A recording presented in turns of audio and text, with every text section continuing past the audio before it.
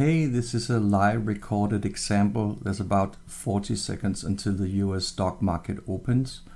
I have found my, in this case, four focus stocks being Nvidia, Meta, AMD, and Netflix, as you can see here.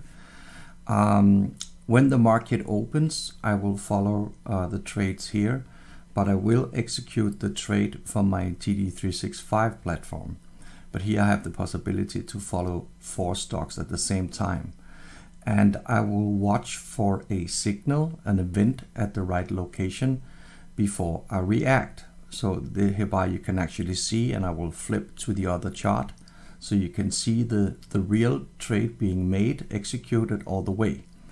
Now you can see the market open, and for Netflix it opens up way lower, and at the same time also Nvidia opens up way lower. You have Meta opening right here, and let me see if I can make AMD show something.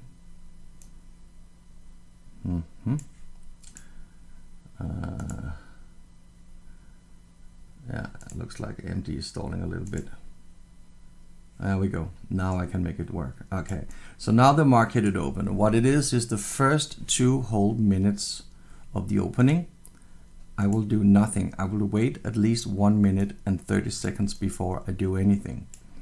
And this is according to the technique learned by Oliver Velez and also the Fabulous Four that I have drawn in is the same thing here.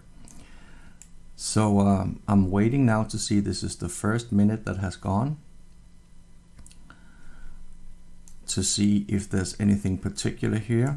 I can now see that Meta looks very interesting to me so I'm going to prepare the trade ticket for Meta.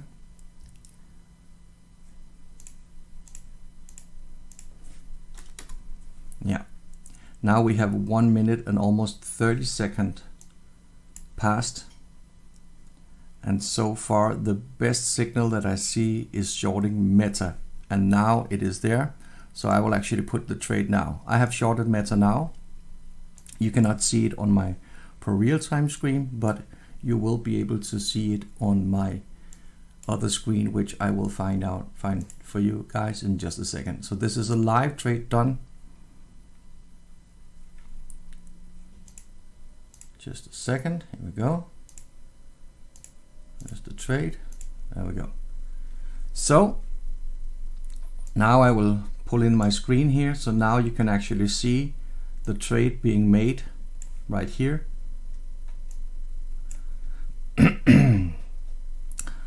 um, I made the trade and I entered at 496.03, which unfortunately happens to be in quite the bottom of this red bar, which of course is a bit sad. But I made it after 1 minute and 30 seconds because I saw that this is probably what's called a elephant bar because of the length that it is a little bit longer than the, well it's actually almost twice as long as the normal bar. I could have asked for a longer bar but you don't always get what you want in the market so let's see how it progresses. But my bet now is to the short side so I want to see more red coming from here. And it's because also the distance for the 20 moving average to the to the red bar here is a little bit too far. It should be closer. And also to the red one up here. It actually opens a little bit too far down. But it was the best uh, how do you say signal that I got from the four stocks so this is just an example to show that I'm actually doing a real live trade as I'm recording this I will probably within the next weeks Fridays I will do a live broadcast on YouTube where I will actually show my real trades making done as they as they come. So in this example it's only to show you that I'm actually doing a real trade on my, my platform. Um, I will also see if I can pull in the platform here so you can see. Here's actually the trade running here on CFDs and here's is the open P&L and I have just covered this because I don't want to show you my account number necessarily but it's a live account so everything is fine. Here it is. Now unfortunately I can also see that the trade went into a minus of course which is not that good. And what we see here is actually a nasty nasty bar here which probably tells me that this trade can be problematic Um, let me see.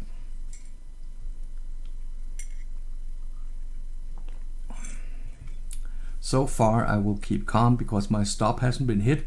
Actually my stop has to be here, which is one cent above the red bar. So I will adjust my stop. There you go. A little bit like that. There we go. So now if we, I can get the red candle underneath my buying price, or my selling price in this case, I will close the trade because of this candle in the middle here, which I call a warning candle. And this can signal that there could be a possible turn. Uh, and it could make sense that price was trying to will try to go back to 500 because it likes the round numbers. So now you can see that the price is actually underneath. And I will choose now to press the exit and close the price. There you go. Because uh, I could wait maybe more minutes and see if it goes down or I could wait until it flips back on me go around. So my entry was not that good. But this was still a live trade made and even though uh, it got me from 496.03 to 495.39 uh, which is about 64 cents it's still a relatively easy trade made and it was made live just to be sure. I will now show you here. Here's my account and here you can actually see the trade. It's in Danish kronos because I'm Danish. So this is a proof. You can see here the timestamp as well. The timestamp is one hour difference because this is London time. Um, the platform just uses London time. So, but the real time should be 1531 and then again close it at 1535. These are Danish times, but if I point down here, you can actually see the New York Times is 9.36.15 right now. So that equals that the trade was opened up at 9.31 and was closed at 9.35. Um, I hope that you are able to see other uh, day trading mentors or influencers or people who's teaching how to trade on YouTube or other places, TikTok, whatever. I hope you can make them show one or two or three or even more live trades recorded. And even this can be tampered with so they can basically fake the signal. Uh, the best thing is actually to see a live trade as it goes. So I will encourage you guys to actually ask to see a live trade being done. And remember, if you go to somebody's YouTube channel and the only thing you see on live is somebody drawing in some lines of what could happen, what should happen, what might happen, this is really not necessarily teaching you so much value or how to trade. But as you saw here, there was a live example. I had a signal in Meta. I took it, I shorted, it, I closed it. Um, and this was only for showing purpose that it's actually true when it comes to my teaching.